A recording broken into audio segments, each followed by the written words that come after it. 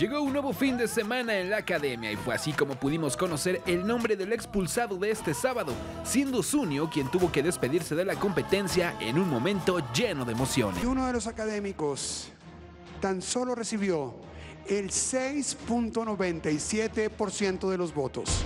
Y esa persona es Zunio. Una de las presentaciones más vibrantes del sábado se dio cuando Cecia y Andrés interpretaron el tema Recuérdame y sellaron su actuación con un tremendo beso que puso a todos los presentes con la piel chinita, incluyendo a Lolita Cortés, quien aplaudió su gran interpretación. Por primera vez veo que en ustedes dos realmente se compenetran y poco a poco lo van dejando ir hasta que van dejando ir esta interpretación hasta que regresan al escenario. El domingo el escenario de la academia se iluminó con la presencia de un artista como Leonardo Aguilar, que nos presentó en vivo su nuevo sencillo El comienzo del final, dejando al público encantado con su actuación. Como todos sabíamos, la noche de ayer nos tenía preparada una nueva eliminación, y fue así como a pesar de haber regalado una de sus mejores presentaciones, Fernanda tuvo que decir adiós a la competencia. Esa persona eres tú. Fernanda.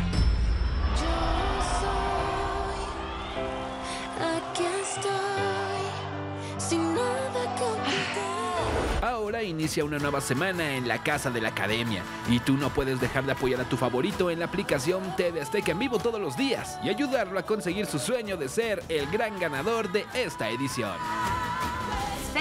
Están aquí con nosotros. Gracias por estar aquí. Y justo lo platicábamos. A ver, respondan así. Parece que existe una maldición que el día que te va perfecto, sales. Sí, yo no sé si es una maldición o qué traemos los académicos, pero cada vez que alguien hace una buena presentación te va. ¿O ¿Qué está pasando con el público? ¿Qué está viendo en los demás? Porque hay que decirlo, señores. En la casa creo que hay voces que se quedaron que no son tan buenas como la de ellos dos. ¿Ustedes qué piensan sobre esto? Eh, bueno, yo creo que... el- la Tú gente- amarrando navajas, Pues pero bueno, que es la contesta. verdad, Es la verdad. No, o sea, yo- es que hay personas, hay público y público, ¿no? Hay público que, que ve parte del 24-7, ve como que solo clips y otras personas que ven todo el 24-7. Entonces se dejan influenciar de muchas cosas, entonces es como que... Que les cae eh, bien. Por ejemplo, en mi caso, ya que me, me dicen, no, este, habían clips en el cual yo estaba como que medio recostado porque estaba otra vez como que integrándome al ejercicio y todo. No, qué flojo. Y hay personas que dicen, que ustedes hablan por hablar porque él prácticamente estaba esperando a que toditos salgan de la cocina y es verdad. Yo hacía eso y luego me paraba a preparar lo que tenía que preparar para poder hacer la dieta. Pero a ver, son diferentes cosas, La verdad juegan es que mucho. Hay dos personas con mucho carisma que la gente quiere mucho, que son Santiago y Rubí. Hay que decirlo.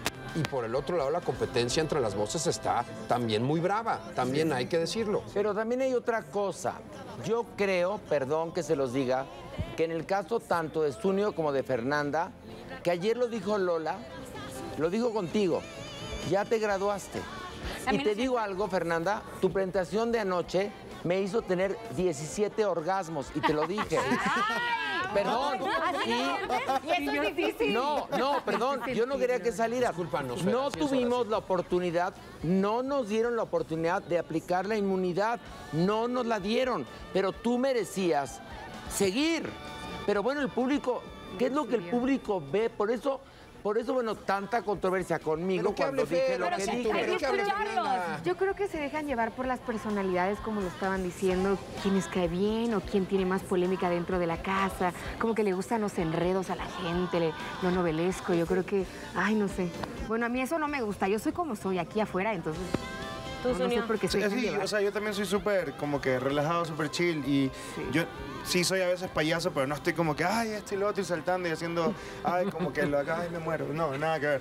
O sea, yo voy a lo que voy. Y yo creo que, pero la gente a veces compra más otras cosas que lo que uno se pone a hacer, pero eso Pero, pero se, son lo- pero se gustos, los, ¿no? se los dije, muchachos, es Sí, una competencia sí, sí. de canto, pero también es una competencia de que hay que tener una personalidad dentro de la casa, porque tristemente y, y positivamente este reality es un 24-7, que la gente también se enamora de la, de la personalidad de cada uno de ustedes. Definitivamente, Fer, Sunio, creo que ustedes no se tienen que haber ido este fin de semana y es Willy por eso tan importante ayer, ¿eh? votar, votar, votar, votar, porque tenemos el fenómeno Rubí, que pues obviamente Rubí no quería irse, pero luego sí quería irse y estuvo toda la noche decidiendo. Si Rubí, si hubiera querido ir, tú estuvieras todavía dentro de la academia. Sí, pero también por otro lado, Rubí tiene derecho, perdón que se los diga, si la gente sigue votando por ella, a quedarse en la calle y seguir Pero, aprendiendo. pero ¿sabes qué, Horacio? Además, seamos, vamos a dejar clarito esto. Es muy complicado y no creo que suceda que Rubí gane a la academia o se meta a la final. Pero Si gana. pensamos que iba a ser, y con todo respeto para Yolette, una tipa este, arrogante, rebelde, contestataria, y la chava está metida en lo que puede controlar.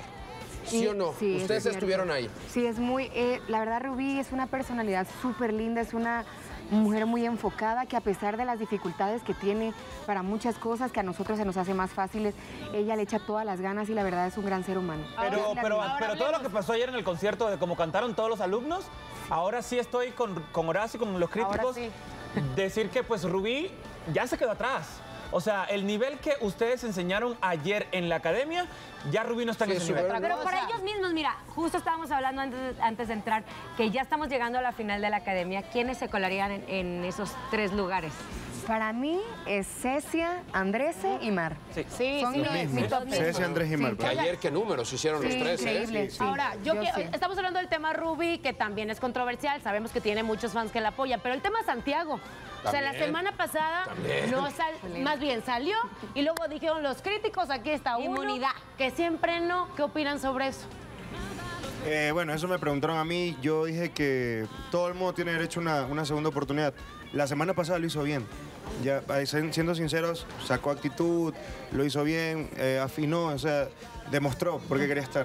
Pero Ey, Espérame, que este momento, ayer ahora sí tú, no soy, no soy doctor, por supuesto, y lo digo con todo respeto. Pero yo qué? Pero ayer dices, sabemos que te sientes mal, y en ese momento dices, sí. Y- y- y sí, sí me siento, y dice, "Hueva, no, Fue real, fue real. El A ver. estrés que se maneja ahí puede dar una crisis de ansiedad. ¿A poco no ustedes cuando subían al escenario de repente era un me voy a morir? Todos teníamos un shock emocional y antes de entrar al escenario era algo que los nervios te, te, te atrapaban cómo a totalmente. Santiago ayer? O sea, a ver, eh, no sé, fue- yo, lo- yo sentí súper raro todo eso. Yo también. O sea, a ver, ¿Sí, es que- como falso? A ver, tú estás diciendo que entonces crees que actuó. Ayer O sea- Santiago no canta bien, hay que decirlo, no tiene no su mejor bien. A ver, número. fue la salida de Santiago para que ustedes los críticos no le dijeran sus verdades. Y lo voy a decir bien claro porque Santiago Oh. durante todo el ensayo estaba muy bien. Los que estaban mal y que se sentían un poco mal en la mañana eran Mar, Nelson, Eduardo. Y Andrés. Él hizo su... Y Andrés, que Andrés sí le bajó, eh, creo que el azúcar después de la presentación. Entonces... eh, esto muy todo muy confuso. O sea, Lolita le empieza a decir las críticas y él ya se da cuenta que no le va a ir bien Que en la no noche. una buena mano. Porque durante su presentación los críticos empezaron como a, a poner, o sea, a decir, no, o sea, no está cantando bien, no está cuadrado. Estuvo Y fue horrible. su salida. Fue su salida para, para no recibir las críticas. Y muy bien que Gavito retomó las críticas de Santiago cuando cantó Cecia. Porque además hay una cosa, a ver, ustedes lo saben, cuando acabas de cantar estás en shock. ¿Qué porcentaje de lo que le decimos los jueces se les queda en la cabeza? Un 60%. ¿Ves? Sí, más o menos, sí, Es decir, 60%. van saliendo también. Es verdad, están en shock. Por eso cuando les ponen la revisión del concierto el lunes es tan importante, porque ahí es como un conflicto de eso fue lo que pasó. Claro, es que ahí, ahí caemos en cuenta y hacemos como una recapitulación de todo lo que nos dicen los críticos. Entonces es como que, ah, es verdad. Y ahí caen las ideas, bla, bla, bla. Ojo, Hay si, que- es- hay que- si hay es- que- hay una realidad sobre la dieta.